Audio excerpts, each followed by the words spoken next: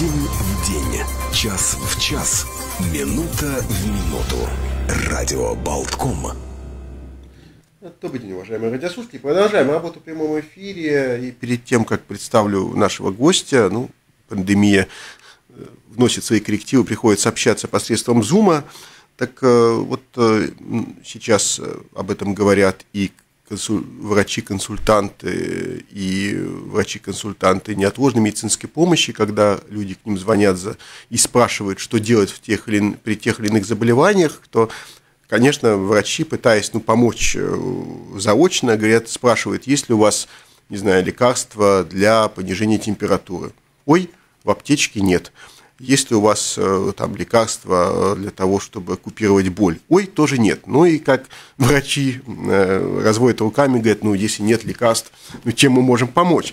Вот э, это такое такое вот предисловие к беседе с фармацевтом Менес Аптека Еленой Петришиной. Елена, добрый день. Добрый день. Да, ну вот здесь, наверное, такая двойная нагрузка, я думаю, на всех фармацевтов во всей стране. Во-первых, локдауны и определенные ограничения. Во-вторых, мы слышим постоянно о том, что те или иные государственные медицинские учреждения вынуждены или прекратить, или сократить вот эту плановую помощь говорят, что если есть возможность как-то вот помогите себе сами и так далее. Не, ни в коем случае мы не призываем к самолечению, но очевидно, что фармацевты, с учетом того, что аптеки – это те немногие учреждения, которые открыты для всех, кстати, и для невакцинированных тоже.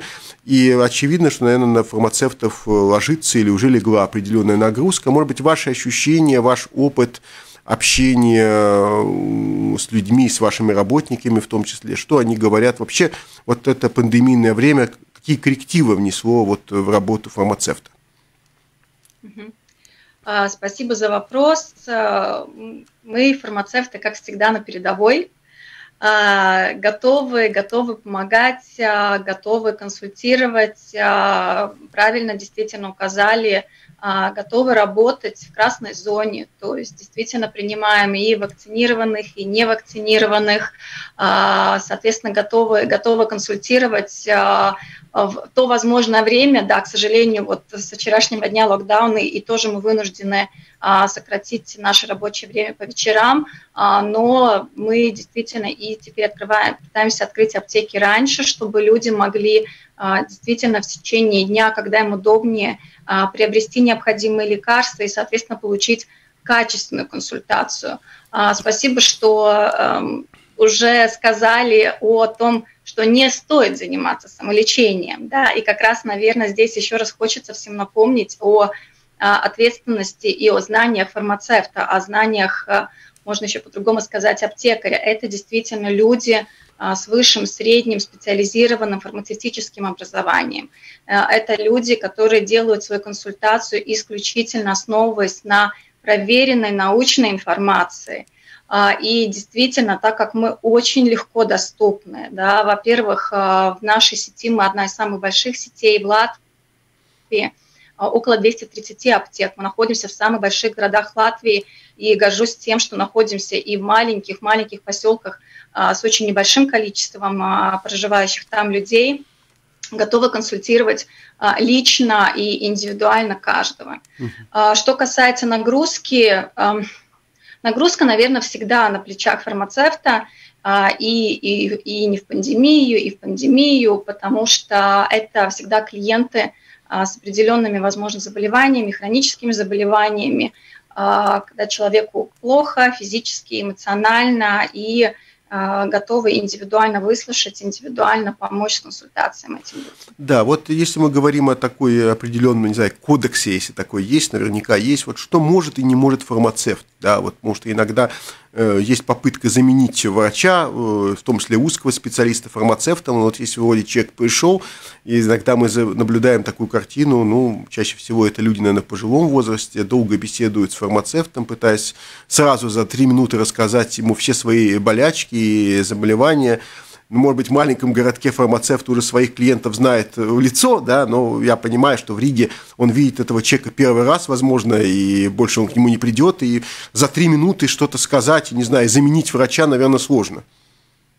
Нет, ни в коем случае, ни в коем случае врача и не надо, и не нужно заменять, да, а, на то он есть врач, и, конечно же, да, у нас тоже есть свой кодекс, хочется напомнить о том, что вообще профессия фармацевта – это очень регламентированная профессия, эта отрасль очень регламентирована, а, не можем, ни в коем случае не можем заменить а, врача и не можем поставить диагноз. Да? То есть если, если действительно клиент приходит с определенной симптоматикой и даже по знаниям мы знаем, а, в каком направлении, а, например, или действительно даже симптоматика способствует, например, или говорит о каком-то конкретном диагнозе, мы посоветуем, мы посоветуем обратиться к специалисту, к врачу, а, возможно, посоветуем даже сделать, пойти какие-то, сдать уже предварительные анализы, чтобы врачу, к врачу прийти с определенными анализами, и уже только после консультации и визита врача уже можно будет прийти в аптеку.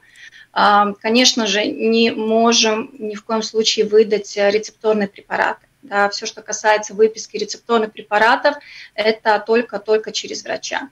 В принципе, что, что, тогда вопрос, что мы можем, да, то есть действительно, я бы сказала, это первая помощь, первая помощь при, а, наверное, более таких акутных заболеваниях, тех же простудных заболеваниях, это очень скажем так, углубленная консультация, все, что касается правильного применения лекарства, а, взаимодействия лекарств между собой, это правильное применение не только после еды, до еды, но и как а, лекарства взаимодействуют с определенными продуктами пищи и напитками. А, ну и, конечно же, это профилактика. Да, безумно, безумно важно. Я всегда говорю, что лучше заранее – заранее а, профилактически делать какие-то меры предосторожности, чем потом лечить какие-то какие болезни. Угу. Мы, мы между собой называем это фармацевтической консультацией. Скажем так, по-латышски мне это больше нравится, как звучит по-латышски, это звучит фармацевтическая апрупе. Когда вы говорите русский, наверное... акутное, это имеется в виду острое, видимо, да? да. Острые заболевания – это а, когда нет хронического заболевания да. у человека. Да? Да. То есть, когда мы понимаем, что этому человеку необходимо каждый день а, применение препаратов а, по определенному поставленному диагнозу и по определенной поставленной схеме, которую расписывает врач. Акутное – это действительно все респираторные инфекции, Сегодня заболело горло, насморк, болит голова, болит спина, скажем так, это вот когда э, не хронические заболевания а острые. Да, ну вот э, тоже такой, наверное, вопрос бытовой. Я думаю, что ваши знакомые часто вас спрашивают.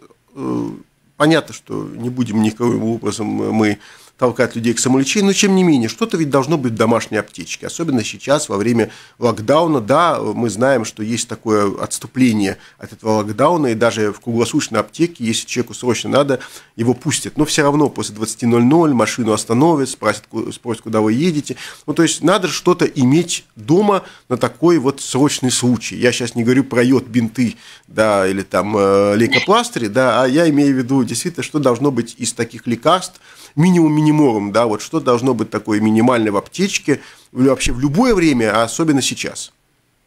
Да. Э, бинты тоже должны быть. Да, и само пластыри, собой, да, да, да. Наверное, это то, о чем люди чаще всего забывают. Да. Да? Но если, да, действительно, если говорим именно про, про а, пандемию, опять же, если мы даже говорим просто про осень, зиму, такие uh-huh. именно сезонные, сезонные периоды, а, то, конечно же, это должен быть препарат а, который понижает температуру, который снимает воспаление, а, который э, снимает э, такую симптоматику, как головная боль. А, в принципе, если мы сейчас говорим, очень-очень а, было актуально и при первой волне, чтобы правильно понять действительно, начинается там повышение температуры и нет, иметь дома элементарный градусник, что я тоже знаю, не, не всегда люди об этом задумываются. Кстати. А, да. Да. Кстати, вы абсолютно правы, потому что иногда градусник-то дома и не находится. Или у э, сейчас же очень модные электрические градусники, извините, батарейка да. тоже не вечна. Да, вроде бы градусник есть, людям кажется, что о, ну у меня градусник есть, а когда он нужен, в этот момент то он и не работает, да. Ну да, поэтому действительно вот рекомендую всем слушателям встать, потом перепроверить, есть ли действительно градусник, э, чтобы действительно, если вечером есть такая необходимость и есть какие-то уже признаки ухудшение самочувствия, да, чтобы действительно понять, это, это, возможно, я сам надумал, устал, не выспался, или действительно начинается уже какая-то симптоматика. А, если мы говорим, опять же, очень часто люди знают сами, а, если какие-то иногда заболевания, которые а, спровоцированы чем-то, например, те же самые аллергические реакции, да, то есть всегда, чтобы дома был какой-нибудь противоаллергенный препарат, причем даже сейчас во время, во время острых респираторных заболеваний очень многие врачи рекомендуют иметь под рукой и антиаллергенные препараты, потому что они снимают отечность, отечность горла, отечность носа, да, это тоже, скажем так, в это время очень-очень актуально, чтобы снять эти симптомы. Вот то, что вы говорите, по существу, ведь мы сейчас говорим, не называя, естественно, не рекламируя какие-то конкретные их производители и названия, но мы ведь говорим сейчас о безрецептурных медикаментах, чтобы люди понимали, да, вот это все безрецептурные медикаменты.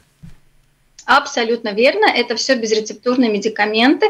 Естественно, если они сейчас есть в аптечке, а, в аптечке а, клиента, я очень надеюсь, что осталась инструкция, и, и можно взять, открыть и почитать, но в любом случае можно прийти в любую аптеку и получить а, более глубокую консультацию по поводу этих препаратов. Это действительно те препараты, которые, по которым мы можем дать консультацию и которые мы можем предложить клиенту без рецепта.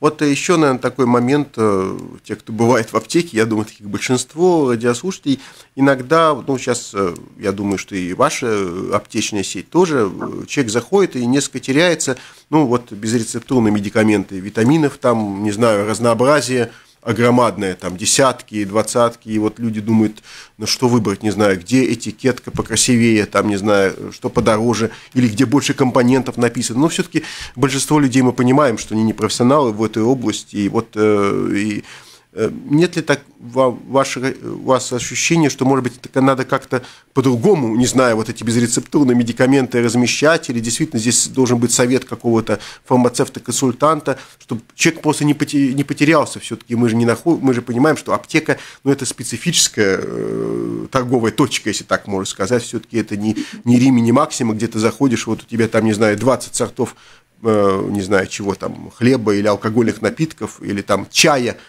да, но все-таки я понимаю, что витамины иногда даже проходят как пищевые добавки, да, но тем не менее. Угу. Ну, возвращаясь опять же к регламентации и законодательству, очень-очень а, правильно разделили. То есть есть действительно медикаменты, безрецептурные медикаменты, которые мы можем предложить в аптеке без, без консультации с врачом, и есть а, не медикаменты да, куда действительно входят а, различные пищевые добавки и медтовары. А, так вот, если вы заходите в аптеку, а, именно попадая в зону самообслуживания, так называемая, когда действительно клиент заходит и, и теряется да, от, этой, от этой красочности, так вот, там будут стоять пищевые добавки, там будет стоять медтовар, там будет стоять а, а, косметика. Но что самое важное, а, поэтому, поэтому действительно мы не, не простая торговая точка, а в любой аптеке будет специалист, эксперт а, со специальным образованием, фармацевт, который всегда обязательно проконсультирует. Причем проконсультирует, как правильно для вас конкретно, ну, для индивидуального случая выбрать тот или иной препарат, будь то медикамент безрецептурный или будь то необходимая пищевая добавка. Фармацевт всегда задаст дополнительные вопросы чтобы выяснить действительно необходимость того или иного препарата, а, потому что, да, действительно, в моей практике тоже было очень часто, когда а, люди поддаются, поддаются рекламам, когда люди поддаются услышанному отзыву от, от соседей, от знакомых. Э, это, конечно, все хорошо, но действительно стоит обязательно проконсультироваться со специалистом, потому что только специалист, может быть, даже задав определенные какие-то уточняющие вопросы, а, во-первых, сможет подобрать наиболее лучший препарат для конкретного человека, а, во-вторых, даст, будет возможность избежать каких-либо ошибок, да, потому что если мы даже говорим про те же безрецепторные медикаменты, да, то есть на упаковке будет брендовое название абсолютно разное, но активное вещество будет одно и то же. И здесь очень важно действительно а, проконсультировать клиента, чтобы человек не принял двойную дозу одного и того же препарата. Поэтому, Кстати, опять же, обращаясь да. к нашим Слушаю. Да-да, вы абсолютно правы. Это, кстати, очень важный момент, потому что действительно названия могут отличаться, например, у дженериков, да, а на самом деле самое главное, ведь активное вещество, особенно люди пожилые или, может быть, с плохим зрением, могут действительно дважды принять э, один и тот же препарат, превысив дозу. Абсолютно верно. И поэтому действительно а, прошу не удивляться, если фармацевт задаст, а, может быть, с одной стороны, кажется интимный вопрос, а какие препараты у вас есть дома, да, и это на самом деле очень важный препарат, если мы говорим про фармацевтическую консультацию, чтобы действительно клиент не приобрел препарат, и, соответственно, дома у него есть с таким же активным веществом, и таким образом, соответственно, будет превышена дозировка ежедневная. Вот интересно, вы хорошо за такой вопрос затронули, какие препараты есть дома или лекарства. Вот зачастую бывает так, но это чаще всего, наверное, из практики дежурных врачей, которые не, видят, э, не знают этого пациента, вот они к нему приехали и говорят, слушайте, давайте посмотрим, что у вас есть дома. Ну, из, э, и человек вываливает эту аптечку так вот на стол и начинает все там вот дружно рассматривать, и выясняется, что у части лекарств, хорошо, если не у большинства, вообще срок годности давно истек. Это, наверное, тоже, наверное, такая рекомендация людям, сейчас время есть на локдаун, локдаун может быть, перебрать свою аптечку, сделать ревизию, посмотреть, что, от чего нужно давно избавиться нужно было бы. Обязательно, обязательно, а, действительно, периодически, ну, хотя бы там раз в полгода, желательно, конечно, почаще делать ревизию своей аптечки – ни в коем случае, ни в коем случае не использовать, не использовать те препараты, которых уже закончился срок годности, или же а, перепроверить, правильно ли, не, ли они хранились. Да, бывает действительно такая ситуация, когда, а, может быть, попала какая-то влага, да, если видите, что как-то меняется цвет таблетки, а, поверхность, а, да, не знаю, если там на сиропе появляются какие-то какие-то осадки, да, то есть обязательно проконсультироваться, даже если хороший срок годности, а, потому что бывает ситуация, когда действительно позволяется выпадение определенного осадка, но проконсультироваться с фармацевтом, еще раз перепроверить срок годности, убедиться, что вы правильно хранили препарат, потому что есть очень часто, когда препарат покупается, он хранится при комнатной температуре, а после открытия его надо держать, например, в более прохладном помещении – а, ну и, соответственно, да, а, эти препараты утилизировать. А, у нас есть очень много аптек, куда можно принести препараты, и, соответственно, уже мы по всем стандартам дальше произведем утилизацию этих препаратов. Да, действительно, хочется еще раз напомнить всем, что ни в коем случае не выбрасываем, вот я а, не выбрасываем препараты в мусорники угу. и в туалет. Да, вот, и да. Если мы вообще говорим о вот, посетителя, если так, так возможно очертить, как среднестатистического посетителя аптеки, вообще вот э, меняется, ну, не знаю, ментальность, психология э, клиента аптеки, вот э, с годами, не знаю, 10 лет тому назад или 15 был один клиент, условно говоря, сейчас э, люди приходят с какими-то другими вопросами, или, в принципе, в этом плане ничего не меняется? Ну, здесь, наверное, хочется, наверное, уйти немножко даже дальше, чем 10, и 20 и даже, может быть, 30 лет назад. А, вообще как бы поменялась, поменялась а, сфера фармацевтики, поменялась ответственность фармацевта. А, хочется, наверное, немножко уйти в историю. 30 лет назад фармацевт это был специалист, который в основном работал руками и, соответственно, приготавливал товары исключительно по, а, по рецепту, по рецепту врача. То есть вы имеете да, в виду вот это изготовление лекарственных форм по существу, да? Абсолютно верно, да, потому что еще 30 лет назад действительно в основном это были это были, было не заводское производство, это было действительно аптечное производство, и тогда фармацевт действительно больше работал своими руками а, на изготовление препаратов. Но мы знаем, что уже 20 лет назад и, на сегодняшний день а, это уже, наверное, больше такие исключения из правил, да, то есть в основном это заводская упаковка, и, соответственно, и поменялась, и поменялась работа фармацевта а, сегодня это консультация. В основном действительно это консультация. Это то, что уже вопрос мы затронули. Заходишь в аптеку, глаза разбегаются, а что выбрать, а что угу. действительно для меня. И вот здесь действительно это, это наша прямая обязанность а, помочь клиенту выбрать а, максимально подходящий для него препарат и, и дать консультацию. Что касается а вообще возможно, Да, да, я извиняюсь, да. что перебиваю все-таки. А возможно ли ведь иногда, вот может быть, э, человек может сказать, как вообще фармацевт может все это запомнить? Ведь мы говорим о безрецептурных медикаментах, и когда э, и о рецептурных тоже, ведь я вот зачастую наблюдаю, приходит там посетитель, ну, сейчас в основном рецепты идут от семейных врачей в электронном виде, да, ну вот даже не в электронный, бумажный рецепт подает, там какое-то лекарство весьма специфическое, да, э, и фармацевт сразу там бежит, там 25-я полка, там, не знаю, там 35-й раздел, раз, и подает именно эту вот коробочку, которую надо, даже если там только по активному веществу. Это вообще возможно запомнить? Ведь там тысячи наименований. Возможно. Возможно, э, это, это наша ежедневная работа.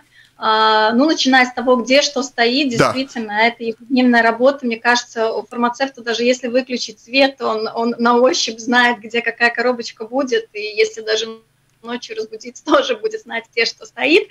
То, что касается, можно ли вообще все это знать, а, да, можно. Э, конечно, не могу сказать, что знаем всегда на 100%, но еще раз хочется напомнить, что фармацевты – это действительно а, люди с высшим средним а, специализированным образованием, плюс а, есть такая регламентация, что, что касается нашей профессии, фармацевты всегда продолжают учиться, всегда продолжают образовываться – Еще раз напомню, что консультация фармацевта базируется исключительно на проверенных и научных а, исследованиях. Мы знаем, медицина а, у нас развивается молниеносно, и каждый день поступает какая-то новая дополнительная информация, будь то какие-то терапевтические изменения, изменения в правилах лечения, будь то появление каких-либо новых препаратов. Соответственно, мы, мы как часть э, медицинской отрасли должны следить за всеми этими новинками и э, должны, соответственно, шагать в ногу, чтобы предоставлять действительно качественную информацию. Есть ли такое вот понятие, не знаю, модный препарат? Я сейчас опять-таки буду о безрецептурных, разумеется, говорить, да, рецептурные мы не имеем права рекламировать, не называя препарат, но вот какая-то компания фармацевтическая проводит такую активную маркетинговую кампанию, и потом вы чувствуете, что люди идут очень часто один и тот же, вот не знаю, там, лекарство просят, да, вот э, есть такое ощущение, и что в этой ситуации делать фармацевту, ведь иногда мы бываем, понимаем, что все зависит от э, маркетинга, да, можно извините, сказать, что эти витамины самые лучшие во всем мире, а можно сказать, что соседние витамины самые лучшие во всем мире, разницы между ними нет никакой, да. Да, конечно, конечно, это есть, конечно, это чувствуется, а, даже если мы будем говорить не по конкретный бренд или конкретный препарат, но а, действительно мы видим, как меняется еще 20 лет назад вообще только-только появилась, а, действительно, я бы сказала, тенденция использовать D-витамин. Сейчас для нас это кажется, естественно, классические делаются анализы на, на количество D-витамина в организме. Но 20 лет действительно это было что-то новое, что-то неизведанное, и, соответственно, казалось на тот момент, что все, все кинулись приобретать D-витамин. А потом был период, период рыбьего жира, а, был период каких-либо других препаратов. Это, естественно, есть. А, очень, конечно же, чувствуется, когда происходят какие-то маркетинговые активности или поступает даже какой-либо новый препарат на рынок. А, мы знаем, что люди, опять же, сейчас во время локдауна будут больше времени проводить дома. Это, естественно, интернет, это, естественно, любые другие медиа. А, и э, здесь действительно фармацевту важно, наверное, еще раз убедиться, что этот препарат нужен человеку, да, что это не следование какой-либо моде, да, потому что, в принципе, ни один препарат просто так, потому что это модно принимать нельзя, даже будь то простая пищевая добавка, а, даже будь то какое-то простое растение, потому что на самом деле доказано, что самые сильные яды э, – это не те яды, которые синтезировал человек, а действительно яды, которые создала сама природа. Да? Поэтому действительно обязательно необходима консультация фармацевта и очень-очень внимательно на самом деле читать то, что доступно, доступно в интернете или, по крайней мере, перепроверять эту информацию. Да. Вы в самом начале сказали, что в вашей аптечной сети, МНС аптек, если я не ошибаюсь, прозвучало, по-моему, более 230 да, аптек, в том числе и в маленьких э, населенных пунктах. Но, э, может быть, я не прав, но ведь это убытки. То есть фактически понятно, что одно дело аптека в любом месте Риги, да, э, где бы она ни была, а в другом, вот в малонаселенном пункте, или просто здесь важно, так сказать, чтобы было представительство и такое покрытие и возможность, да, вот, может быть, несколько слов об этом.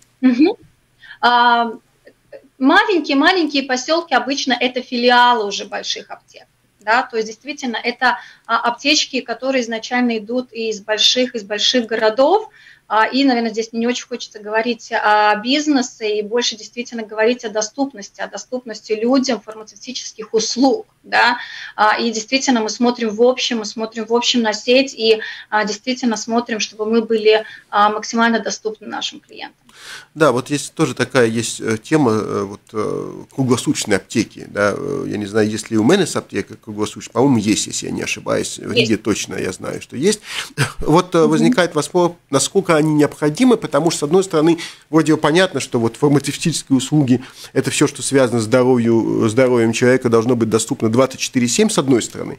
С другой стороны, ну, за редким исключением, наверное, когда человеку вдруг лекарство какое-то нужно ночью – да, но это вряд ли, потому что у него бессонница, он решил прогуляться, ай, зайду-ка я в аптеку, да. Э, чаще всего это какие-то неотложные случаи, и возникает вопрос, действительно, если какой-то неотложный случай, надо ли бежать в аптеку, если совсем человеку плохо, может быть, вызывать скорую. Угу, угу. А, да, правильно сказали, у нас есть круглосуточные аптеки, а, и, как показывает практика, действительно есть спрос, есть спрос, есть клиенты спрос, да? есть. Угу. Да, да, есть спрос, есть клиенты. Опять же, здесь, наверное, больше вопрос, а, где находятся эти круглосуточные аптеки. Да? То есть если действительно это центр Риги, и все знают, что есть возможность в любое время суток приобрести необходимый препарат. А, действительно, бывают такие экстренные неотложные случаи, и действительно не при каждом случае ты будешь вызывать скорую. Да? А, даже если там температура 38-39, ты не хочешь, ты не хочешь, например, всю ночь лежать и мучиться, и почему бы нет, если у тебя есть, если у тебя есть муж, жена, Поедут и возьмут, сын, да. может поехать, приобрести и, соответственно, таким образом облегчить твое самосостояние. Да, Спасибо за этот комментарий. Может быть, вот э, фактически тоже такой важный вопрос, он личного свойства. Все-таки почему вы склонились вот к тому, чтобы стать фармацевтом? Э, ведь кто-то может сказать, ну тогда уж лучше, там, не знаю, там, врачом или, не знаю, помощником врача, поближе к пациенту, практика. Или есть свой, своя аура, своя особенность вот именно в работе фармацевта? А, скажу честно, э, выбор профессии был неожидан для меня. А, и да, на тот момент тоже склонялась к врачам. А, скажем так, наверное, не классически, многие с самого детства уже знают, кем они хотят стать. Нет, у меня такого не было. Я действительно, наверное, только в средней школе начала задумываться, кем хочется стать. И всегда была не гуманитарием, больше предпочитала более точной науки, и действительно в какой-то момент задумывалась именно о медицине, но на тот момент боялась крови, элементарно боялась крови. А, и хочется спасибо еще раз, очередной раз сказать моей маме, которая действительно а, увидела а, возможность и предложила мне пойти попробовать себя именно в роли фармацевта, потому что медицина, химия и, соответственно, ты можешь, ты можешь помогать людям, помогать людям своими знаниями. А, признаюсь честно, на тот момент, когда пошла учиться, не совсем понимала, не совсем понимала, куда я иду. А, опять же, было несколько десятилетий назад, я тогда себе представляла эту профессию вот как раз э, тем, тем фармацевтом, которые готовят, сидят, высчитывают, готовят из травок какие-то настойки – а, и, наверное, только уже на третьем курсе я поняла, что работа фармацевта на сегодняшний день совершенно другая. И я скажу честно, я не разочаровалась, и наоборот еще больше влюбилась в эту профессию. А, это каждодневная работа с людьми, а, с каждым индивидуально, искать индивидуальный подход каждому клиенту, искать максимально подходящие препараты, ну и, наверное, самое главное, видеть, когда они приходят обратно, видеть, как они себя хорошо чувствуют, а, получать отзывы, как им помог препарат. А, вот это, наверное, самое-самое приятное в этой профессии. А, о чем, скажу честно, очень-очень скучаю, потому что на данный момент сама лично не работаю. Да, вот интересно, можно ли сказать, что вот эта вот эпоха, вот то, что, ну, не знаю, я застал, во всяком случае, может быть, меньше, поколение более старше застало, там, где были некоторые аптеки, где изготавливали, да, вот эти порошочки, вот эти там э, жидкости по рецептам, все-таки это уже уходит в прошлое, да, сейчас мы говорим о готовых формах, да? Угу, да, да, абсолютно верно. Какой-то степени нет необходимости делать, изготавливать эти индивидуальные препараты, потому что мы понимаем, это занимает намного больше времени. А, ну и, конечно же, все, что касается заводского производства, да, ну, наверное, все-таки хочется сказать, что и качество там будет совершенно другое. А все препараты, приготовленные по определенным стандартам, проходят а, очень-очень много проверок. Плюс на сегодняшний день, наверное, хочется затронуть еще и новые введение в законодательстве как верифицирование тех же рецепторных препаратов э, для необходимости избежать каких-либо подделок. Да. А, готовка лекарств остается, действительно остается, но в очень минимальном а, количестве, и, как правило, это а, какие-то редкие случаи, когда заводского производства нет, нет на рынке, или же когда действительно надо максимально подобрать дозировку или форму лекарства индивидуально для клиента. Может быть, такой последний вопрос, что все-таки ведь фармацевт это такая, ну, регламентированная профессия, да, то есть все очень четко, нормативная база, э, даже многие, вот, ну, такой вопрос, наверное, извечный, когда говорят, что вот, э, цена медикамента, на самом деле ведь и это регламентировано, да, то есть есть определенные максимумы, надбавки, если так можно сказать, выше которого просто невозможно цену ставить. Да, все это регламентировано, начиная от фармацевтических вот э, оптовиков, там регламентация, и дальше уже в аптеке своя регламентация. Да, абсолютно верно. Очень-очень а, все, как вы правильно говорите, регламентировано. А, конечно же, наверное, высчитываются свои формулы. То, что касается а, тех же медикаментов, пережили несколько лет назад новую реформу. Я знаю, что люди, которые принимают компенсируемые рецепторные препараты, это очень-очень на себе почувствовали. Это именно необходимость врачам выписывать, фармацевтам выдавать более, наверное, дешевый, дешевый препарат, который на тот момент находится на рынке. А, Но совсем, и совсем не значит, что он так сказать, менее эффективный, да, это не всегда. Абсолютно верно, uh-huh. абсолютно верно, это как раз не говорит, что он менее эффективный. А, здесь, наверное, вот это и была момент, переходный, переходный момент, наверное, было это самое сложное для фармацевтов, еще раз клиенту рассказать, еще раз показать, что если даже раньше он принимал красную упаковочку, а сейчас фармацевт ему предлагать зеленую упаковочку, действительно максимально проконсультировать, чтобы клиент, а, скажем так, был уверен в том, что действительно, вне зависимости от цвета упаковки, он будет принимать то же самое активное вещество, которое будет абсолютно такое же действие.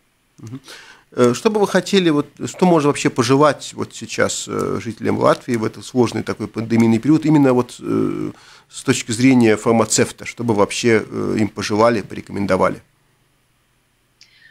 А, ну, наверное, в первую очередь, даже не только с точки зрения фармацевта, хочется просто людям сказать, а, не забывать заботиться о себе. Да? Не забывать заботиться о себе, а, не забывать заботиться о своих близких. Это касается не только физического здоровья, но это касается и эмоционального здоровья, потому что последние несколько лет э, да, живем в немножко таком непонятном времени, который, соответственно, вызывает какой-то стресс. А, да, мы видим, что и а, по продажам, что увеличилось употребление каких-то успокоительных препаратов, да, поэтому действительно хочется сделать акцент на эмоциональном здоровье. Очень важно следить за своим иммунитетом. Это касается любого сезона, а, необходимо, необходимо, естественно, следить за образом, образом жизни. И если даже вы знаете, что нет определенных возможностей правильно питаться, вовремя питаться, а, принимать необходимое количество, понимаете, что не принимаете необходимое количество тех или иных витаминов, минералов, а, мы всегда открыты, да, действительно, фармацевт готов давать эту консультацию индивидуально для вас – а, если вы сами понимаете, что чего-то не хватает или необходимо использовать дополнительно, фармацевт подберет максимально индивидуально для каждого то, что ему необходимо. Ну что ж, спасибо большое. Действительно, это хороший совет всем чуть-чуть позаботиться о себе и подумать об этом. Елена Петришина, фармацевт, менес аптека, была у нас на прямой связи. Большое спасибо. Спасибо, всего хорошего. День в день, час в час, минута в минуту. Радио.